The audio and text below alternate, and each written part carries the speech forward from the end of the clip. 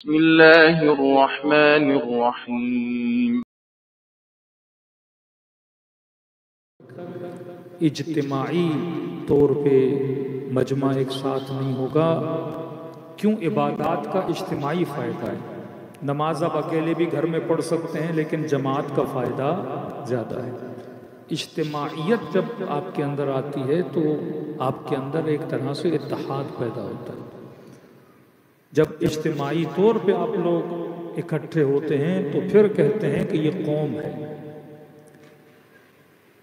मुहर्रम में काला लिबास आप क्यों पहनते हैं?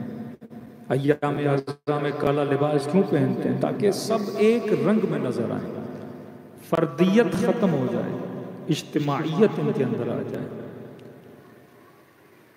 करबला आप जाते हैं तो आपको एक ही नारा, एक ही रंग नज़र आता है।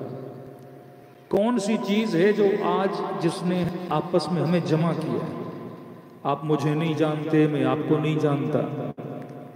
लेकिन किस चीज़ ने हमें जमा किया वो नाम है अली इब्न अबी तालिब है।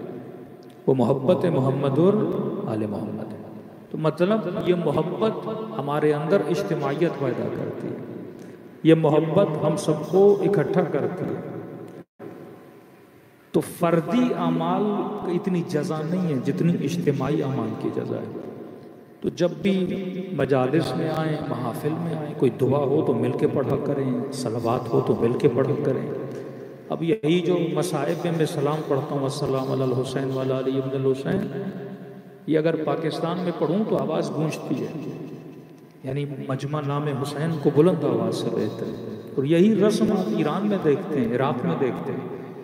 कि वहाँ के जाकिर, वहाँ के ख़तीब जब कोई चीज़ पढ़ते हैं तो पूरा मजमा उनके साथ होता है। तो ये अपने बच्चों को आदत दिलाएँ। जब आप ही नहीं पढ़ोगे तो बच्चा कैसे पढ़ेगा? जब आप ही सलवात इतनी ढीली भेजोगे तो आपका बच्चा तो पता नहीं कितनी ढीली भेजेगा। ना ये नारे का कल्चर, ये सलवात का कल्चर, ये मातम का कल्चर जिस तरह रात नोह खानी हो रही थी, मजमा भी एक बंद, नोह खान पढ़े एक बंद, मजमा साथ में पढ़े। तो जितनी आपकी सोशल एक्टिविटी होगी इज्तमाही एक्टिविटी होगी, उतने उसमें लर्निंग ज़्यादा होती है, आपके बच्चे उसमें सीखते हैं।